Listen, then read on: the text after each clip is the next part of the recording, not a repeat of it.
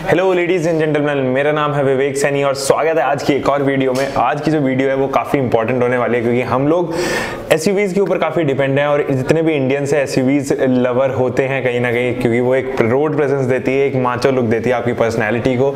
तो इसलिए हम प्रेफर करते हैं एक एसयूवी और 2013 के बाद से एक बहुत बड़ा बदलाव आया है इंडियन ऑटोमोबाइल मार्केट में जहाँ पे एस काफ़ी हद तक राज कर रही है, चाहे वो बिलो टेन लैख सेगमेंट हो या फिर अबव टेन लैख सेगमेंट हो। तो बस आज की इस वीडियो में हम यही टॉप टेन गाड़ियों के बारे में बात करेंगे, जो 2019 में लॉन्च होने वाली है एसयूवी स्पेसिफिक और अगर आप हो मेरे चैनल पे नए तो आप जल्दी से कर लीजिए इस चैनल को सब्सक्राइब ताकि ऐसे ही कुछ इंटरेस्टिंग वीडियोस आप सभी के लिए मैं बनाता रहूँ।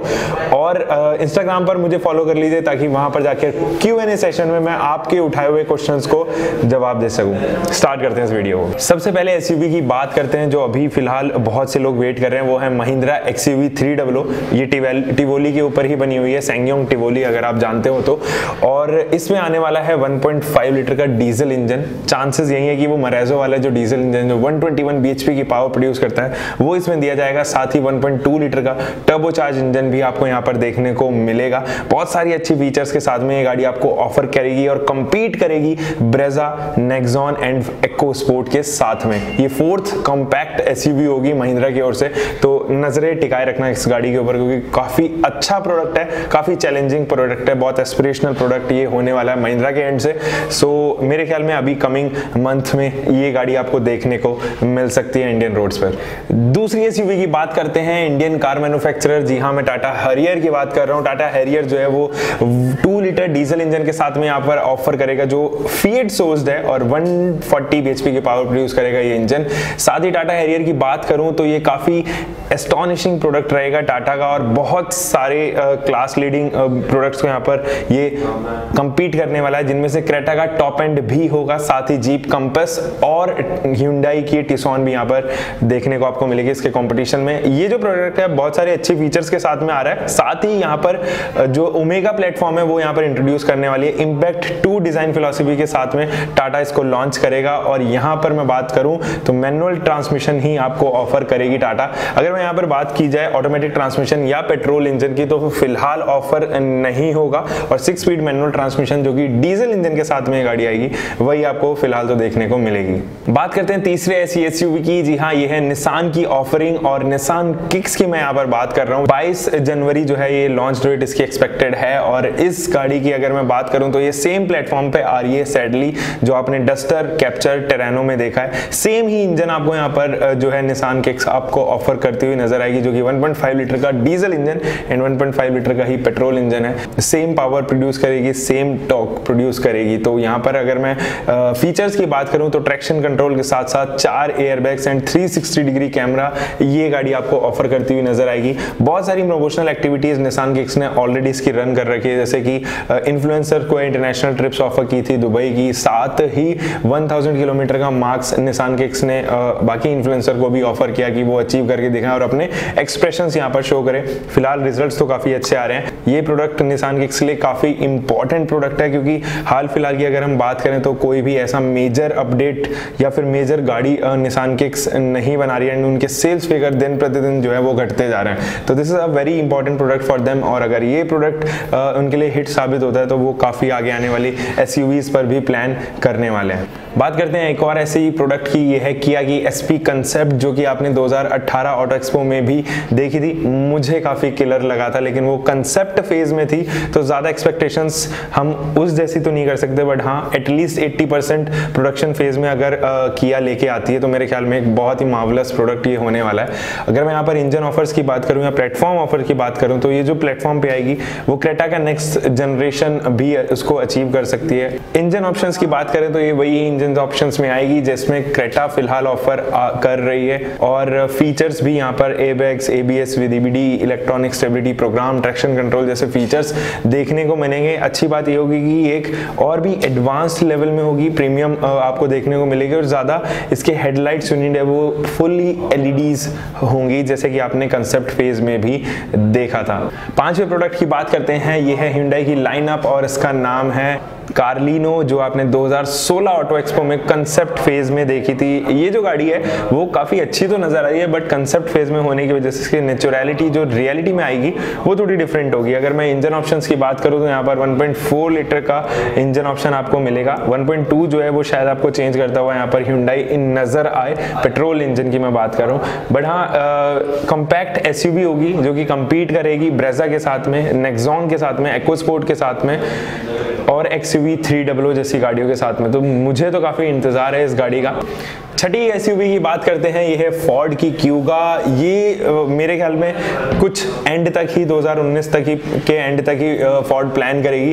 क्यूगा का आना यहाँ पर काफ़ी इंपॉर्टेंट भी है। रीज़न बीइंग क्योंकि फोर्ड की लाइनअप अगर हम देखें तो एक्ो स्पोर्ट के बाद में डायरेक्ट उनके पास एक प्रोडक्ट आता है एंडेवर जो कि एक्ो स्पोर्ट से थ्री टाइम्स महँगा है। उसके बीच में कोई भी फिलर कार अवेलेबल नहीं है। तो मेरे ख्याल में एक फिलर का काम करेगी और यहाँ पर तेरह लाख से अट्ठारह लाख के करीब इसकी प्राइसिंग जा सकती है। 1.5 लीटर का पेट्रोल इंजन एंड 2 लीटर का डीजल इंजन आपको यहाँ पर फोर्ड ऑफ़र करती हुई नज़र आएगी। पेट्रोल इंजन आपने एक्वास्पोर्ट में भी देखा है तो वही डीजल इंजन जो है, वो यहाँ पर 160 bhp के आसपास पावर प्रोड्यूस करती हुई नज़र आएगी।